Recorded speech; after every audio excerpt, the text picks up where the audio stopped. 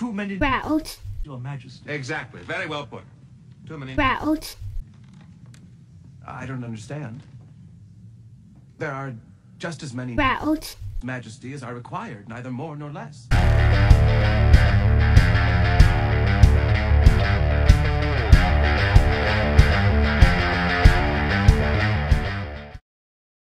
Welcome back to the MVPN video series. In this video, we introduce and then take a deep dive into the BGP source active auto discovery route.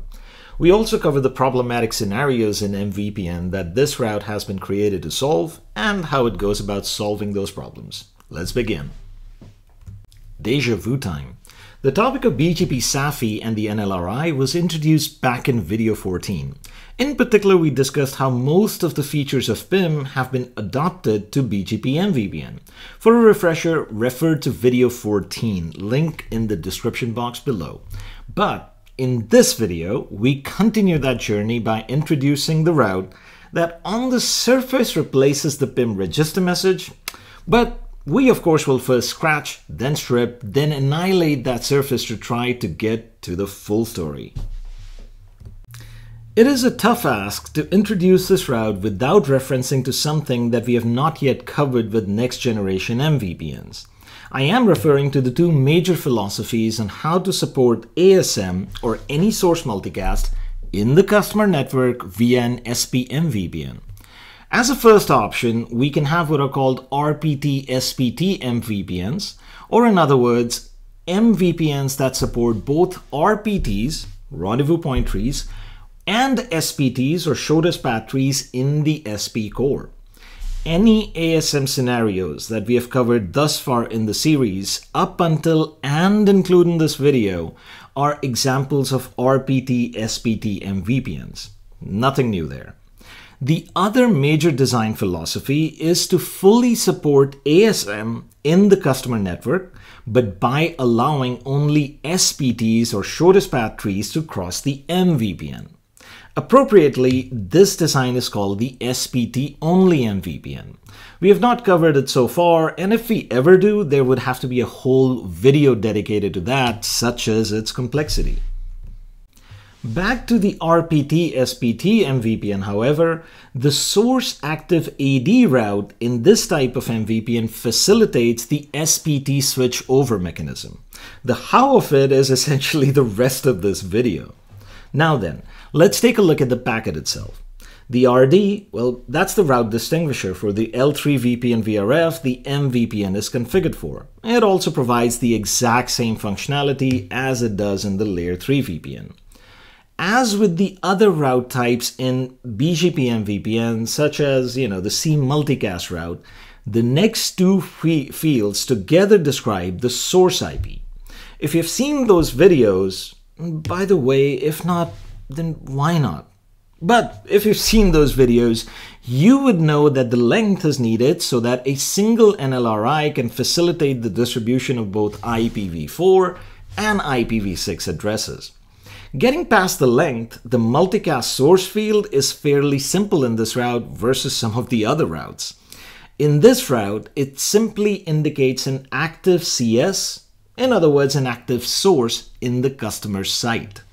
Looking at it another way, this is the IP that will be found in the source IP field of the multicast stream packets themselves. Simple. Next is the group length, which once again IPv4, IPv6, and then the multicast group. Just like the source field, fairly simple and contains the CG. This is the actual multicast group in the customer side that a stream would be addressed to. Just like the source field, the address here would be the same as the destination multicast group in the actual multicast packets. Again, fairly simple. But unfortunately, we are all out of simple for the remainder of this video. For the next few minutes, you may want to pay some extra attention to how we utilize this route in an RPT SPT MVPN. So let's do it. Before we begin this explanation, a quick word about our old friend PIM. The rest of this video is dependent heavily on PIM operations, such as registers, joins, prunes, but most importantly, the SPT switchover mechanism. The video assumes that you are more than just familiar with an overview of that process, in that you understand at least some of the actual packet exchanges that PIM undertakes to pass the state uh, to the appropriate parties. For example, if you're unaware of the PIM S, G, RPT prune message, you might struggle to understand the crux of this video. To refresh on all things PIM, we recommend the CCIE JNCIE IP Multicast lecture series on, on the same channel because, well, why is that surprising? But specifically, the PIM SPT switchover process was covered in lecture 10 of that series, or the Advanced PIM Sparse Mode Deep Dive Part 3.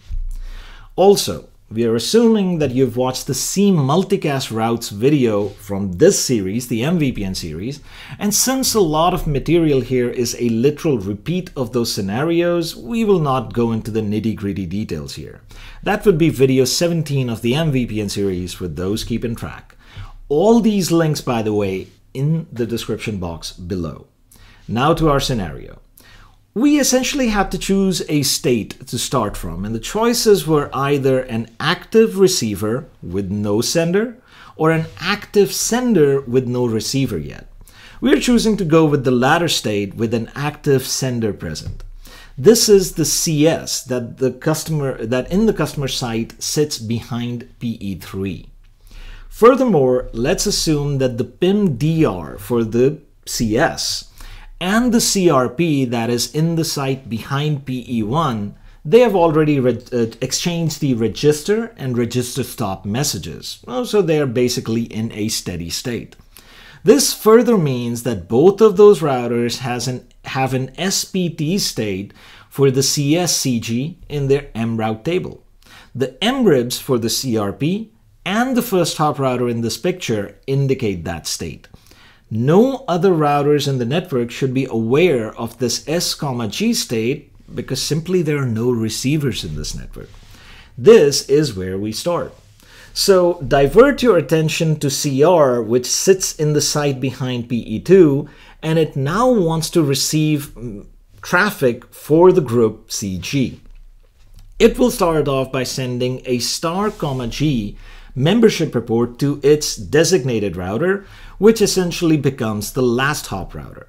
The last hop router takes the report, creates a star comma G PIM join, and sends it to the RPF neighbor for the CRP.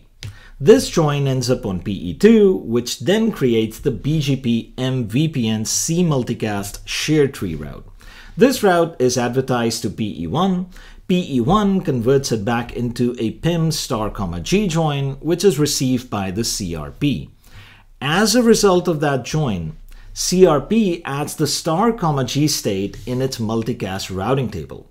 So now it has a star comma G state that matches group-wise to the S comma G state. Uh, let's clear some real estate here and move on. Now, the CRP is aware of at least one sender, CS, for this group, CG. It knows that as a rendezvous point, it must facilitate the delivery of the packets for this CSCG over the shared tree. So in order to receive the packets first, it creates an S, G join towards the RPF neighbor for the CS. This S, G join ends up on PE1, which then creates an MVPN source tree join route with that information. The route is advertised to PE3 and PE3 converts it back into a PIM join and sends that to the FHR. Time to deliver the packet, so let's get some of these pieces off of the board and get the traffic moving forward.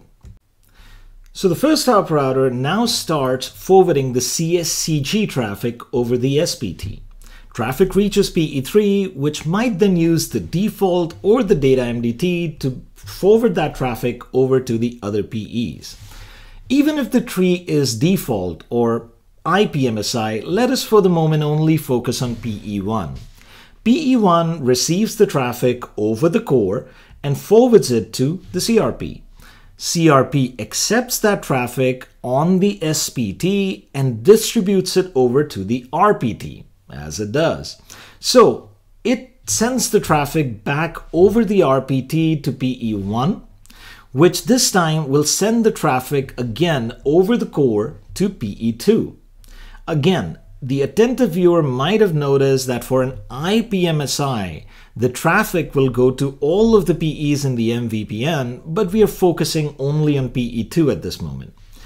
PE2 further forwards the packet over the RPT to the LHR, which creates the S, G state, and CR has the flow that it desired. Let's clear the board one more time and just keep the S, G state on the LHR. Time for the SPT switchover. The LHR will realize that it knows of an actual source for the CG and it will initiate an S, G join to create the SPT. This join reaches PE2, which this time creates a source tree join BGP route and advertises it to PE3. PE3 stores this route. But please realize, because of the source tree join earlier, from PE1, that was the PE for the rendezvous point, the S, G state is already present on PE3. So now let's look, look over the actual traffic pattern since the signaling is complete. Like we said before, as the traffic comes in from the FHR, it might actually get distributed to all the PEs via the IPMSI. In any case, since we have completed the signaling from both PE1 and PE2, even in the case of selective PMSI or data MDTs, both sites would receive that traffic. Continuing on the PE1 side, the traffic once again reaches the CRP, which puts it on the RPT. Traffic hairpins back to PE1 and goes back to the core again, this time being received by all the other PEs, including PE2. Do you see the problem here? In three, two, one. We end up with duplicate traffic. Not the best use of resources to say the least. But wait, should that also not happen for regular non-MVPN IP multicast? I mean, the process is same after all. And the answer is, of course it will happen even there. But we have mechanisms in place in PIM that prevent this duplication of traffic. As noted earlier in the video, all that information, if you're not privy to it already, is available in Lecture 10 of our IP Multicast lecture series, link in the description box below. So basically, we need to handle this situation in MVPN and the designers, those smart designers, they've already thought about it.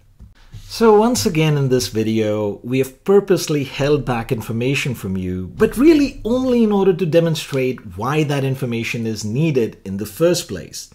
So the whole process of SPT switchover in an MVPN, it does not happen quite as exactly as demonstrated just a moment ago. In fact, what's about to happen is much closer to the actual process.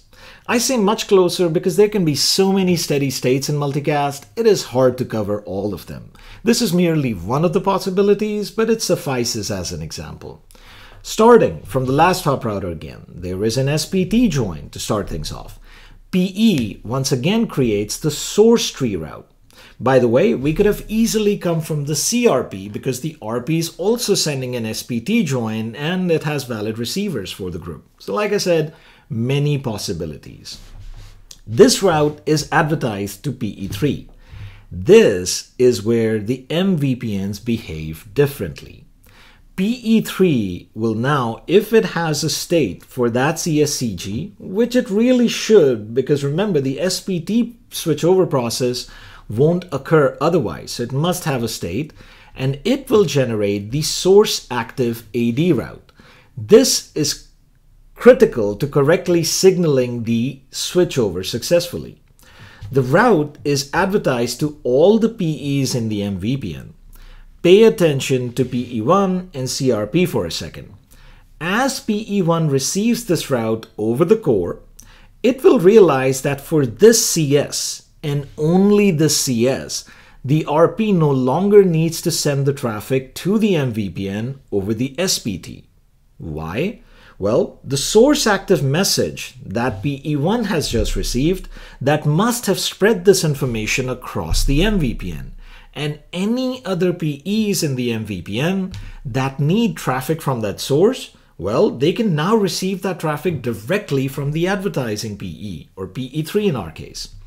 So what does PE1 do here? Well, it's now PE1's responsibility to prune the MVPN core from the CSCG or the SPT state.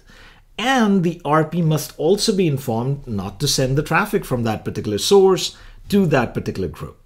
In other words, the PE will follow the PIM SPT switchover process by sending an S, G, RPT prune to the RP to signal this idea to the RP. The RP then will prune itself off of the SPT, and if there are no other receivers within the site, then that's all that happens. Astoundingly many possibilities, but in our simple network, it will prune itself off. And the result? No duplicate traffic. Only traffic that is received over the SPT is from PE3 to PE2. Problem solved with the aid of the source active AD route. Up next, we'll take a quick gander back to the demo we left off in video 18 and study this route, route type 5 in a working MVPN. The profile will remain profile 11. Till then, I'd like to thank you for joining us and urge you to stay tuned for our next video. Thanks.